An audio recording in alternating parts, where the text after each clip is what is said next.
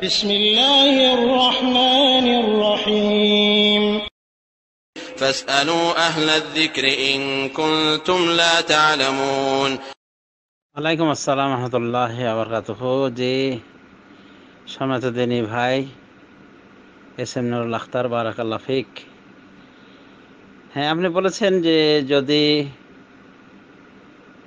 কেউ জাগ্রত হয় আজানের মুহূর্তে ফজরের আজানের মুহূর্তে এবং এক আধ গ্লাস পানি খায় বা না খেয়ে রোজা রাখে। তো রোজাটা হবে কি হবে না? হ্যাঁ রোজা তো হয়ে যাবে ইনশাল্লাহ আর যদি আজান চলতে থাকে, এমত অবস্থায় এক আধ গ্লাস পানি খাওয়াতে অসুবিধা নেই ইনশাআল্লাহ।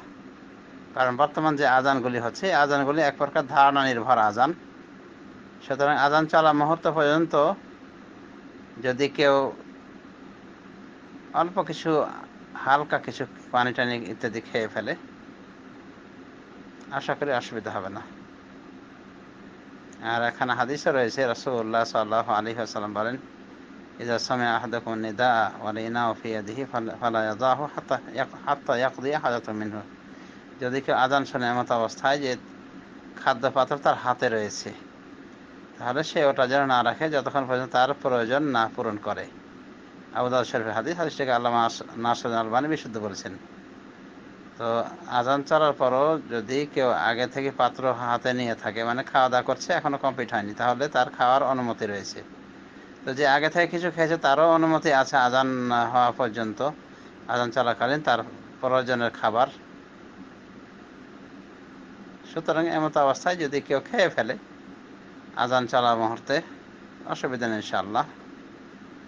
আশা করি তার কোনো সমস্যা হবে না। আর যদি না খেয়ে রোজা রাখে বা চেতন না পায়, জাগ্রত হতে না পারে, কোনো অসুবিধা নেই। ইনশাল্লাহ যখনই চেতন হবে, রোজার নিয়াত করে ফেলবে। আর রোজার নিয়াত তো পূর্ব থাকেই। পুরো রমজানের একবার নিয়াত করলে যথেষ্ট। মানে রমজানের শুরুতেই নিয়াত করে নিতে হবে যে, আমি এই সারা মাসে রোজা রাখব। এটা বলতে হবে না, এটা মনের ভিতরে রেখে দিতে হবে। মানে পূর্ণভাবে এরাদা করতে হবে। সংকল্পবদ্ধ হতে হবে যে, সারা রমজানে রোজা রাখব। এটা হলো বড় নিয়াত। আর আরেকটা নিয়াত হলো প্রত্যেক রমাদানের জন্য খাস খাস নিয়াত। তো বড় নিয়াত থাকলে খাস খাস নিয়াত, প্রত্যেক রমজান স্বতন্ত্র নিয়াত, সেটা মাঝে মাঝে ছাড়া পড়ে গেল বা জাগ্রত অবস্থায় ঘুমন্ত অবস্থায় যদি কেউ সাহারি না খেতে পারে, তো ওটাই যথেষ্ট ইনশাল্লাহ এক কথায় কোনো সমস্যা হবে না ইনশাআল্লাহ। এমত অবস্থায় রোজা হয়ে যাবে।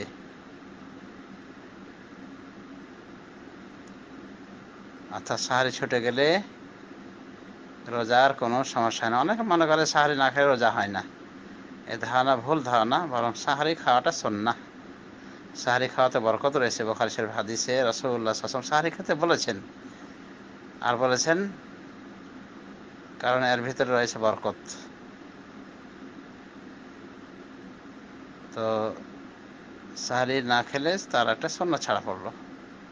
সে কারণে রোজার কোনো প্রভাব পড়বে না, রোজা নষ্ট হবে না, রোজা হয়ে যাবে ইনশাল্লাহ আশা করি বুঝতে পেরেছেন। বারাকাল্লাহ ফিকুম। আসসালামু আলাইকুম রহমতুল্লাহ